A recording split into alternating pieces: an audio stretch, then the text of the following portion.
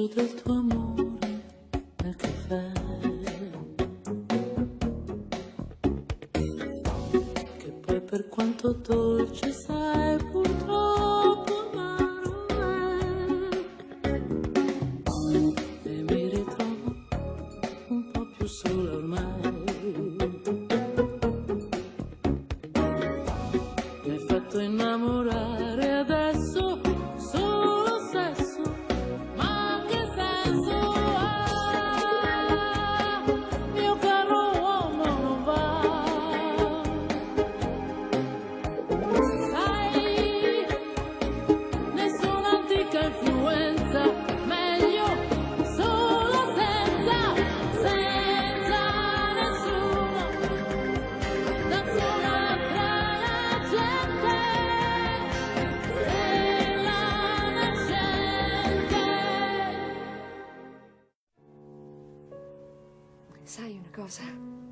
Nei momenti come questo ho l'impressione che non trascorra mai il tempo.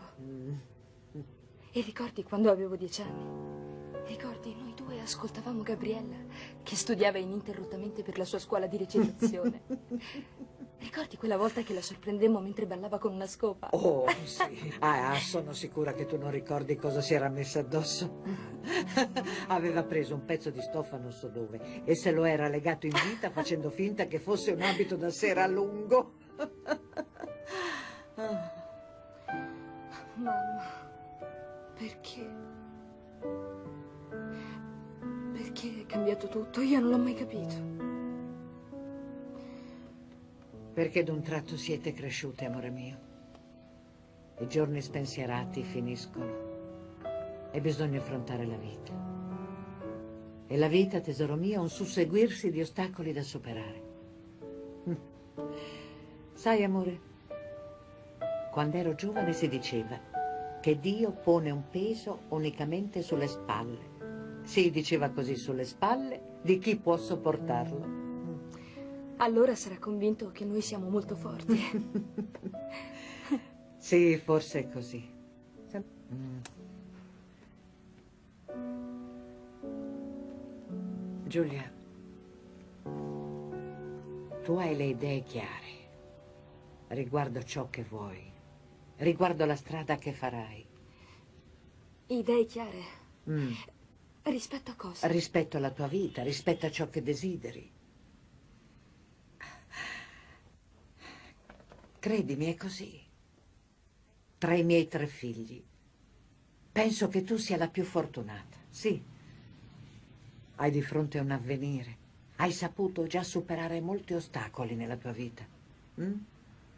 Beh, certo, lo so che al momento hai dei problemi con Riccardo, sì, lo so. Ma credimi, amore, riuscirai a risolvere anche questi problemi. Mm. Io ho molta fiducia in te e sono certa che prima o poi uscirai da questo brutto momento. Mm. Però, se è vero che sei la più fortunata, è anche vero che hai una maggiore responsabilità. E hai anche un dovere, quello di proteggere i tuoi fratelli, se ne hanno bisogno, sia Gabriella che Nicola. Per sempre, Giulia. Dovrai occuparti di loro. Mm. Sì, mamma. Ma non mi piace sentirti parlare così. Perché lo fai? Sembra che tu abbia deciso di cedermi le redini di questa famiglia. Eh? No. Ah, forse mi sono lasciata trasportare. È che il domani, Giulia. Sì, il domani è tutto. Tutto. Ah, cara Giulia. Dovrai avere tanta tenacia, figlia mia. Non solo io. Devono averla tutti. Tutti. Questa è una legge che vale per tutti. Ah, mia dolce Giulia, sei tanto bella. Davvero, sei bella. E non parlo dell'aspetto esteriore, no. Sei bella per ciò che hai dentro. Ed è soprattutto questo che conta. Giulia, non mentire mai a te stessa, capito? Mm.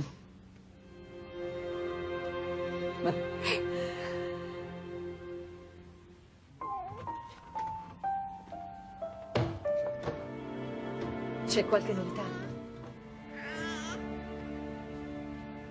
Irene, hai già cambiato la piccola? Sì.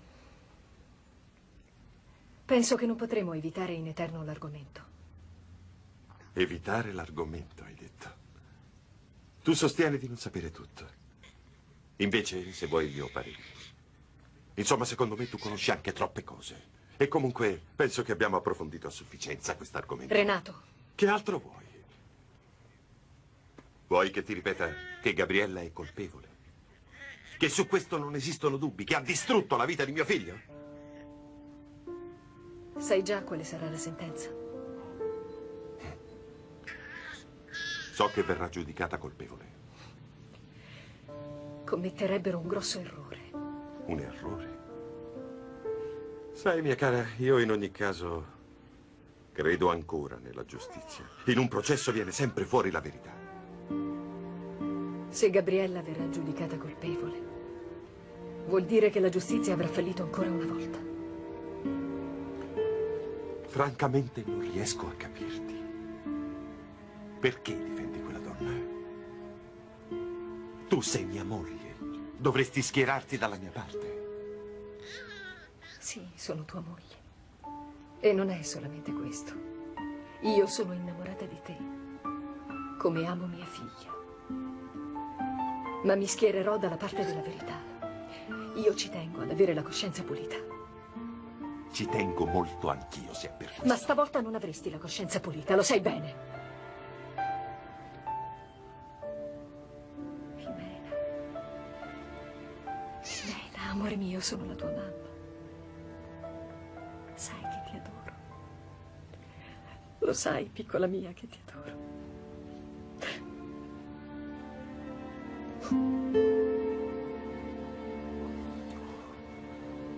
Che cosa farai? Ti amerò sempre, Renato. Domani verrò anch'io al processo. Saremo tutti presenti, non mancherà nessuno di noi. Io sono preoccupata per la signora Lucia. Anch'io, Berta. Dovremmo stare tutti molto vicini alla signora Lucia, sostenerla. Io non riesco neanche più a sperare, sinceramente. Non c'è via d'uscita. Non pensa che potrebbe ancora succedere qualcosa al processo? È già successo di tutto. Tutto sembra provare che sia colpevole. Non è facile ottenere un nuovo appello. E ci vuole parecchio denaro. Temo che quella ragazza sarà costretta a passare la sua vita in carcere.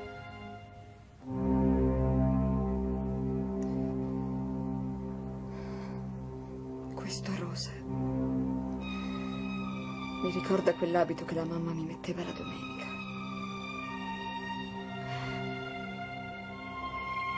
Rosa, colore d'infanzia. Rosa, colore d'innocenza.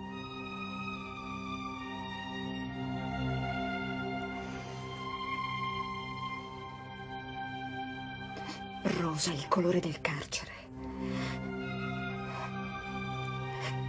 È il colore dell'ingiustizia, della vendetta. Lo detesto. Detesto questo colore, sì, lo odio. Lo odio.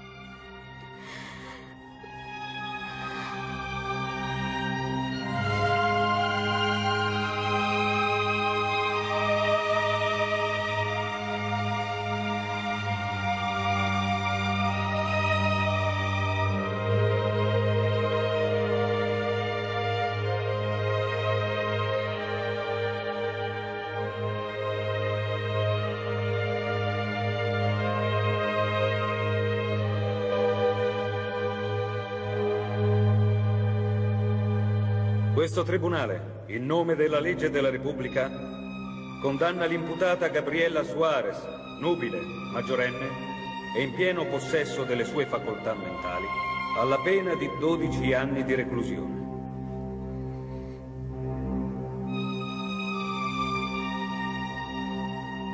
Io sono innocente, signore. La sentenza è assolutamente sbagliata. Signor commissario, C'è sempre un finale, signor Clemente. come?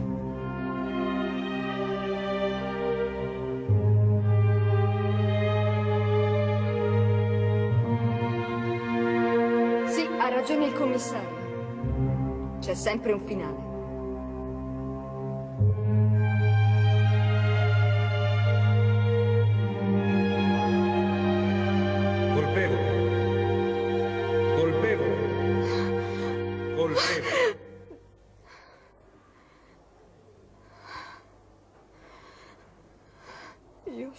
Essere innocente.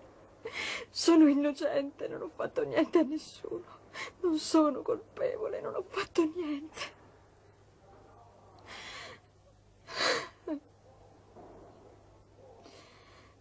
Dieci anni. Altri dieci anni in prigione, no. Ancora dieci anni tra le pareti rosa di questa cella. No. Uscirò a 40 anni. A 40 anni.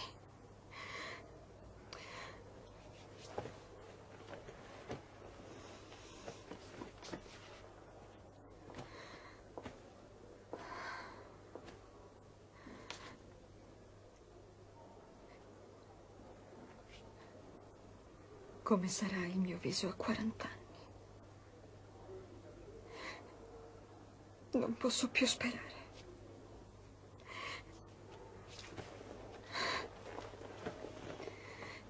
Me quando avrò 40 anni? Avrò perso la giovinezza. È ingiusto.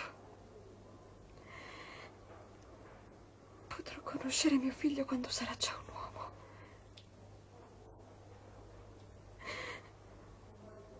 No, Dio mio. No. Signore, aiutami. Dio, aiutami, ti prego, aiutami. Aiutami tu, Dio mio, no. A 40 anni avrò perso tutto. Aiutami, Signore.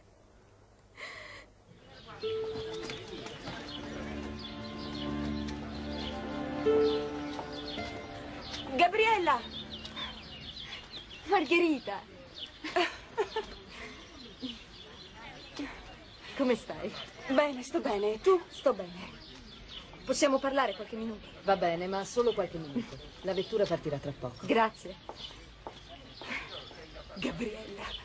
Gregori al commissariato. Cosa? Sì, pensa, eri stato tutta la notte a parlare con il commissario Fergala. Ah, Gabriella, hanno arrestato Luigi Urraca. Luigi Urraca. Quando? Non lo so. Lo rilasceranno. No, non credo che lo rimetteranno in libertà. Davvero, ho tanta fiducia. Sono certa che verrà fuori la verità. Ah, Gabriella, non credi che sia giunto il momento di dire tutto ciò che sai a proposito di Luigi Urraca? No, Margherita. Non penso che potrò ottenere la libertà. Cosa? Mi ritengono colpevole. Sarà la mia fine, la mia rovina. E ora sono davvero colpevole. Purtroppo è vero, ho infranto la legge. Però Luigi Urraca troverà qualche scappatoia. Li vedo già lui e Marco Clemente che brindano soddisfatti. Faranno un brindisi perché sono uomini rispettabili. Sono innocenti. Mentre io passerò dieci anni in carcere. Ma no, ma no. Grazie per ciò che hai fatto, Margherita. Anche se è andata così. Comunque sia, mi hai dimostrato di essere una vera amica. E non è facile trovare un'amica. Sarò felice se verrai a trovarmi, se ne avrai voglia. Avremo sempre tante cose da dirci. Qui in prigione avremo tutto il tempo per parlare. Dieci anni non sono pochi, Margherita. Devo farmi coraggio. Addio.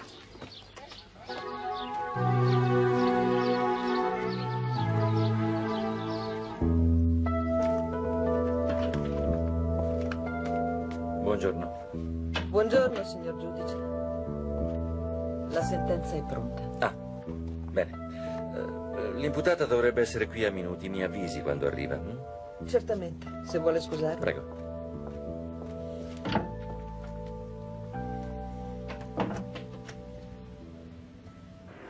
Sta tranquilla, mamma. Spero di avere tanta forza. Penso che Laura sia questa. Sì, mi raccomando, dobbiamo riuscire a mantenere il sangue freddo.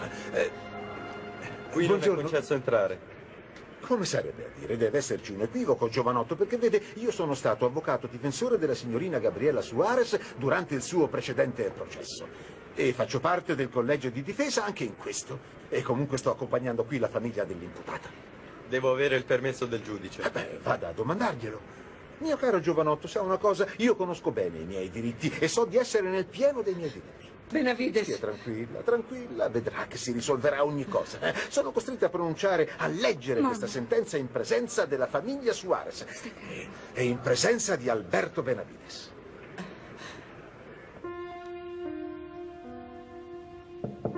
Signora Carmen? Signora Carmen?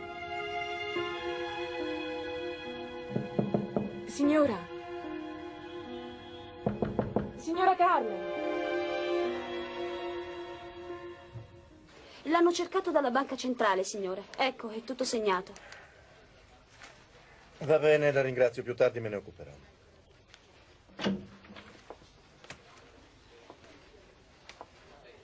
Buongiorno, signor Mendoza. Rina, ci porti del caffè, per favore? Sì, signore. Elsa, scusami, ma non ho molto tempo da dedicarti. Ho diversi problemi da risolvere. Sta tranquillo, non ti ruberò molto tempo, signor Mendoza. Perché sei qui?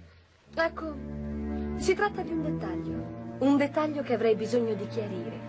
Un motivo come un altro per ringraziarti, Leonardo. È in una posizione delicata, signor Urraca. Piuttosto difficile, direi. Lei sta commettendo un grosso Io errore. sto soltanto portando avanti un'indagine. Persone come lei ne ho viste tante, sedute su quella sedia. Fra i peggiori delinquenti. Mi guardavano con l'espressione innocente, eh. recitavano così bene che i cattivi sembravamo noi. E subito dopo li vedevo uscire da quella porta lì, con la coda fra le gambe, negli occhi l'espressione spaventata delle vittime. Glielo dico io, lei si trova in un brutto impiccio, Urraca. Direi che si trova nei guai fino al collo.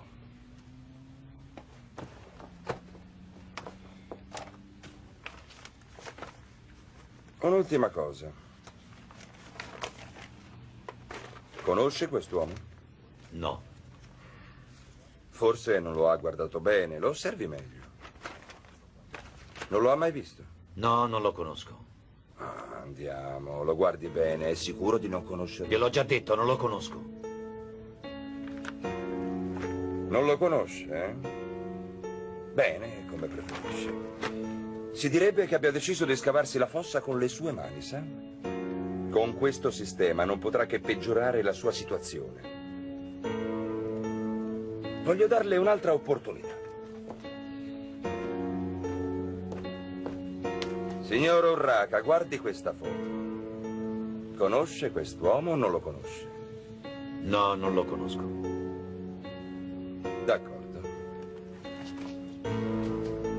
Come vuole.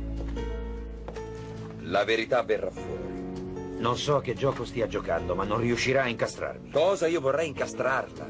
Ma per chi mi ha preso? Eh? Andiamo, Urraca. So benissimo che lei conosce quel tipo. E ho anche dei testimoni per provare. Ma visto che ha deciso di mentire, beh, sarà il caso che la prenda tranquillamente. Tanto lei è agli arresti. Posso decidere di interrogarla ancora questo pomeriggio, forse domattina, dopodomani a mezzogiorno e mezzo, la settimana prossima alle due di notte. Lei in arresto è a mia completa disposizione, perciò, Urraca, prima o poi mi dirà tutta la verità. E non ometterà nessun particolare. Con un po' di pazienza riuscirà a ricordare tutto, compreso chi sono i suoi complici. Gabriella Suarez e Andrea Montero. Signora Carmen!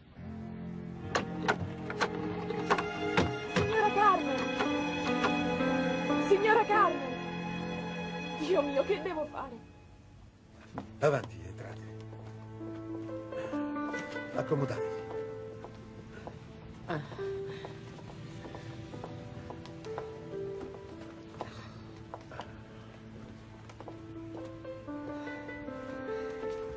Bene.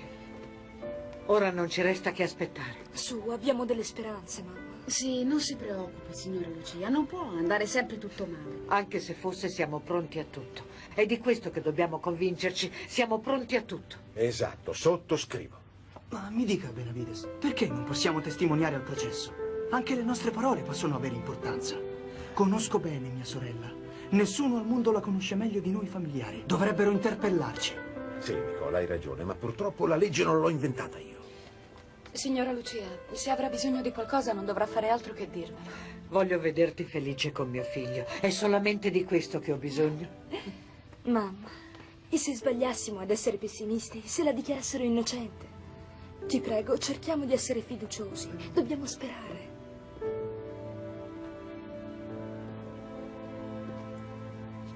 Salve a tutti. Ah, Riccardo. Grazie per essere venuto. Ciao.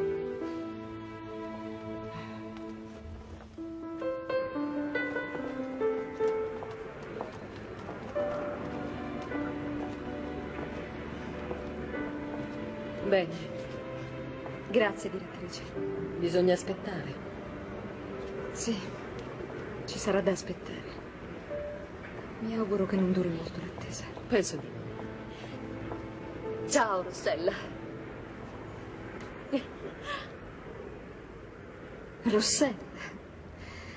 Rossella non si arrende. E saprebbe certamente cosa dire in questo momento. Beh, non lo so.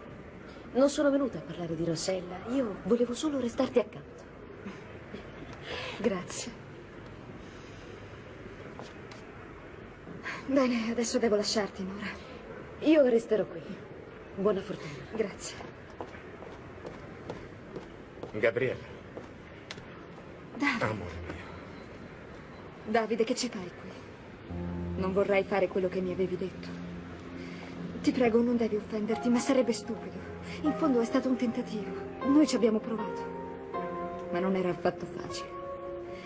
Quando ne hai voglia, Davide, vieni pure a trovarmi. Io voglio vederti, ma libero. Vieni con la tua famiglia, con tua madre. Ma amore mio, Il tempo passerà e io mi rassegnerò. Non ci resta altro da fare.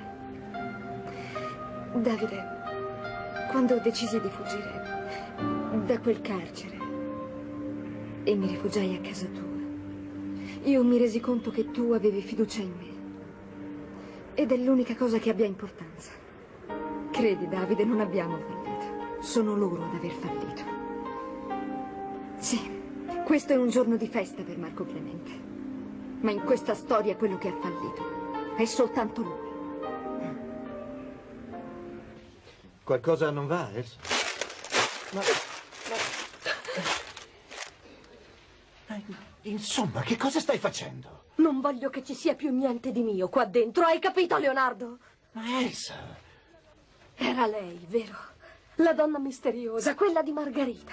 Quando ti venni a cercare perché non ne potevo più, perché non potevo stare senza di te. E tu conquistavi con mia madre, Leonardo. Non avrei mai sospettato che fosse mia madre. Non era una donna qualsiasi, non la tua segretaria, era mia madre. Di che cosa stai parlando? Vuoi negare che ti ha chiamato? O che ieri notte lei è venuta a casa tua in lacrime e tu l'hai abbracciata e le hai detto che non avrei fatto niente, che l'avrei perdonata? Che vuoi dire? Non ti capisco, Elsa. So che Carmen Mantegna ti regalò quella cravatta. E che fu proprio lei a invitarti in quel ristorante a cena. Dormivate insieme, poi la riaccompagnavi a casa e lei faceva finta di aver dormito nel suo letto per non farmi sospettare che aveva passato fuori la notte. Perché mi ha ingannata? Perché mi ha trattata così? Ma chi ti ha detto queste cose? Adesso ho capito tutto, Leonardo. Voi due vi amate.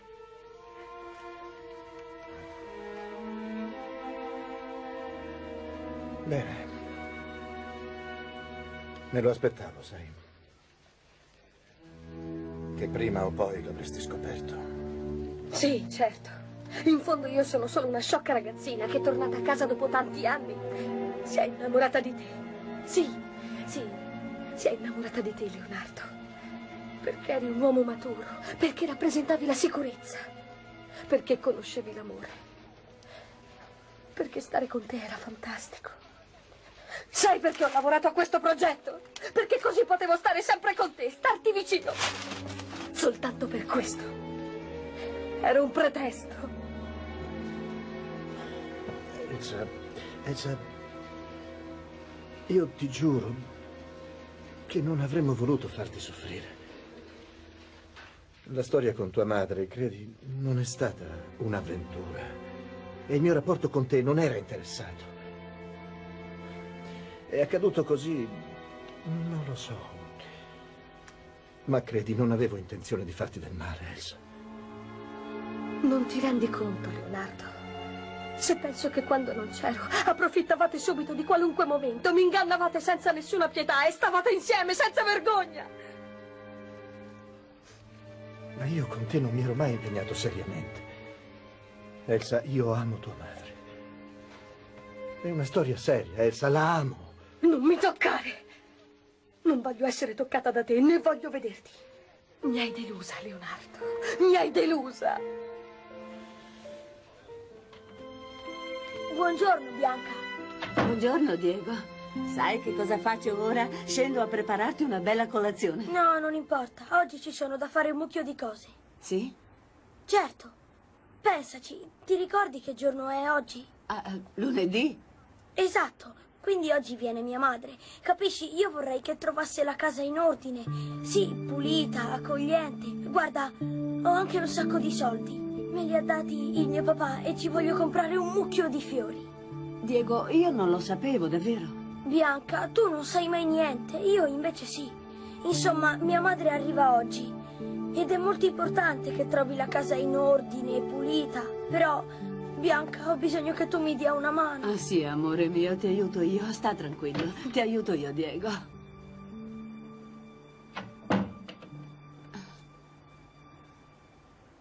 Non ho nessuna no, voglia di proprio vederlo, di te no, lo sai. assicuro. L'ultima volta ha fatto una figuraccia. Per favore, dov'è l'udienza di Gabriela Suarez? In fondo al corridoio, signore. Grazie. Prego.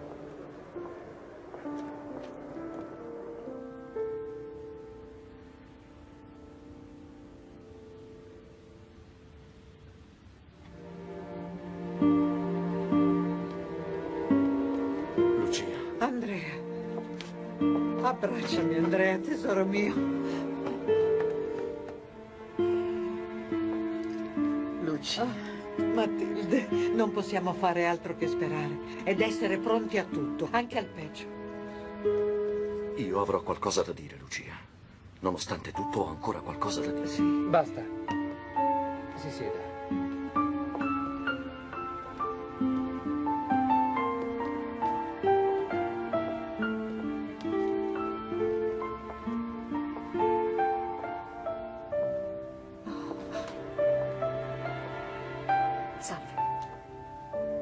Non lo immaginavo.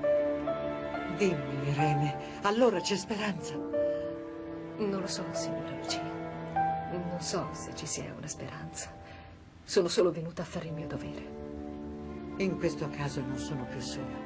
No. Mia figlia non è rimasta sola.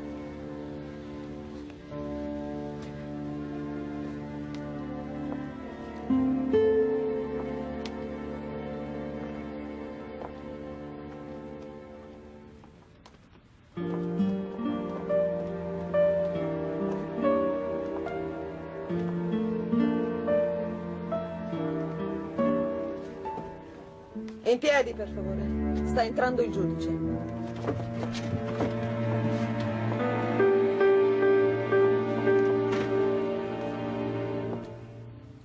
Pierpaolo, ti piace sentire quando ti raccontano i sogni? Sì, perché no? Dimmi, che hai sognato? Bene, c'eravamo tutti, non mancava quasi nessuno. Mhm. Tu, io, Cia, mia zia Giulia, mio zio Nicola e c'era anche Benavides. Sì. Ehi, aspetta un attimo. Tu lo hai conosciuto, Benavides? Mm. Bene. Nel sogno eravamo tutti insieme. In, in- in una casa. Sì, una casa in mezzo a un bosco. E tutto intorno c'erano tantissimi alberi. Era molto grande quel bosco. E, e, e avevamo una bicicletta.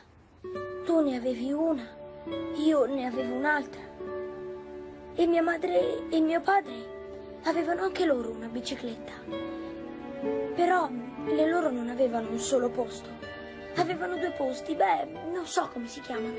I tandem, dove uno pedala davanti e uno pedala dietro. Ecco, bravo. Beh, nel sogno invece sia mio padre che mia madre si trovavano a pedalare davanti. E dietro portavano una specie di culla. Una culla. Già, una culla. E, e sembravano felici. E mia madre abbracciava mio padre. Bene, questo è il sogno. Non preoccuparti, piccolo. Io ti prometto che questo bellissimo sogno si avvererà, te lo giuro, d'accordo? Credimi, Diego, si avvererà e un giorno ce ne andremo tutti insieme in bicicletta, proprio come nel tuo sogno. E naturalmente ci sarai anche tu. Certo. Sai una cosa? Quando il mio papà inviterà la mia mamma a trasferirsi da noi, beh, dovremo farle un bel regalo, d'accordo? Faremo di tutto per renderla felice. Sai, un giorno io, io sono stato a casa sua e allora le ho portato un dolcetto. Quindi adesso vorrei che qualcuno le facesse una torta di cioccolato e anche dei gelati e non so che altro, so che le piacerebbero. E soprattutto piacerebbero a te. Sì, mi piacerebbero, ma i gelati sono solo per loro, solamente per loro due. D'accordo? Non esiste dunque per questo tribunale nessun argomento, nessuna prova che possa in qualche modo contraddire la sentenza emessa nei confronti dell'imputata Gabriella Suarez nel suo primo processo. Possiamo anzi affermare che questo tribunale ritiene, come dimostrato dal processo di otto anni fa, che le prove contro l'imputata furono determinanti. Devo aggiungere che allo stato attuale delle cose si sono aggiunte delle aggravanti. Aggravanti che rinsaldano le accuse già rivolte all'imputata Gabriella Suarez. Alla luce di questi fatti, questo tribunale, in nome della legge, dichiara colpevole Gabriella Suarez per tutti i reati precedentemente menzionati, con l'aggravante da parte dell'imputata di aver commesso ancora reato di fuga, nonché di contraffazione di documenti e di truffa nei confronti della ditta Clemente. Questo tribunale la condanna a 12 anni di reclusione nel carcere di questo Stato. Tutto questo è falso. In quanto cittadino io, Marco Clemente, ho il diritto di essere ascoltato da questo tribunale. Io mi dichiaro colpevole di tutti i reati che sono stati attribuiti a Gabriella Suarez. E pretendo che le mie dichiarazioni vengano prese in considerazione.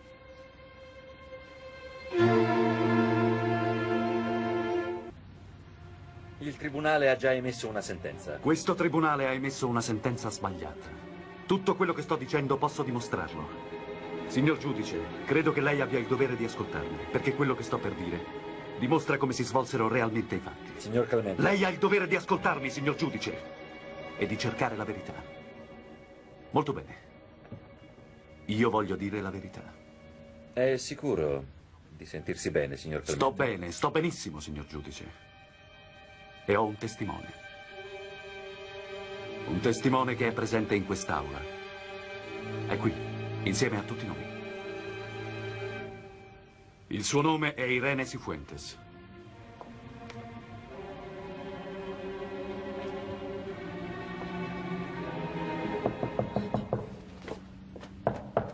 Arrivo. Allora, si può sapere perché si così agitata? Perché ho bussato, ho bussato, ho bussato e lei non apre. Può darsi che sia uscita. Ma no, è in camera sua, è rientrata stanotte. Ma può essere uscita, no? Ah, non lo so, andiamo a vedere, per Eh, favore. Sì, sì, andiamo subito. Ecco, la porta non si apre. Io non ho una copia delle chiavi. Allora siamo costretti a forzare la serratura. Mi prendo la Ehi, responsabilità. signora. È lì dentro, ne sono certa. Signora! Signora, apro la porta! Elsa, ti prego, possiamo parlare. Hai qualcos'altro da dire? Che cosa vuoi dirmi? Voglio dirti che la colpa è mia perché la tormentavo, non la lasciavo in pace. A quanto pare non è stata una conquista difficile, vero? Elsa! Non deve essere stato molto difficile, considerando tutti i suoi precedenti. Ti prego, ascoltami. Io avrei voluto dirtelo, non avevo motivo di nascondertelo, però Carmen era spaventata e io in fondo non mi sentivo in colpa. Perché avrei dovuto? È una storia semplice, legittima. Lo capisci, Elsa? Ci siamo conosciuti e ci siamo amati. È la vita! Quale vita? Quale? Questa farsa! Questa farsa, Leonardo! Ma tu lo sai chi è Carmen? È una bugia, una truffa, un bluff, un inganno! Però è la mia donna e resterà con me. Molto bene. Buona fortuna. Un giorno ti pentirai amaramente di esserti legato a quella donna. Elsa! In fondo, non ci si poteva aspettare altro che questo.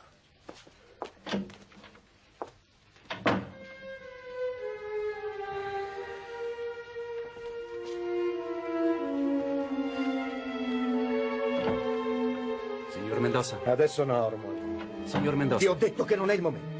Signor Mendoza, Luigi Urraca è stato arrestato.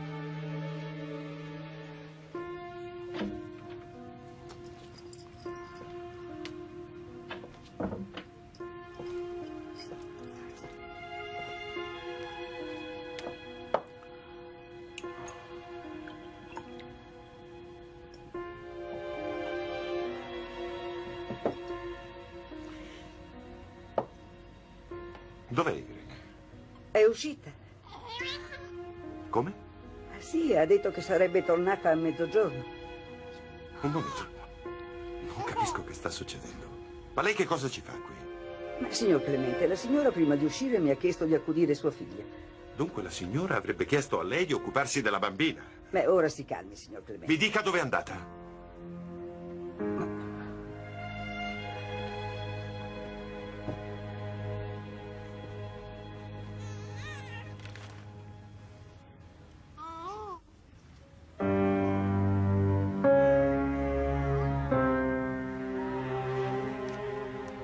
Non sono un profondo conoscitore della legge, ma in quanto cittadino penso di avere il diritto di parlare. E sento che è un mio dovere evitare che si commetta un'ingiustizia. Non mi sembra il momento adatto. Se non è il momento adatto le chiedo di scusarmi. Ma quello che sto per dire non richiede certo un momento specifico. La verità non ha mai bisogno di un momento specifico. È stata appena emessa una sentenza. Questa sentenza non è fondata sulla reale conoscenza di come si svolsero i fatti. Le dimostrerò che questa sentenza non ha valore. E non ha valore perché quando lei mi ascolterà, la sua sentenza sarà di fatto nulla. Sarà semplicemente un errore. Irene Cifuentes, sei tu il mio testimone. Benavides, non so cosa pensare. Sono sorpreso, Lucia, tutto qui. Chissà che Dio non abbia ascoltato le mie preghiere. Irene, Sì, Marco Clemente. Sono pronta a testimoniare. In questo caso, signor Clemente, l'autorizzo a parlare.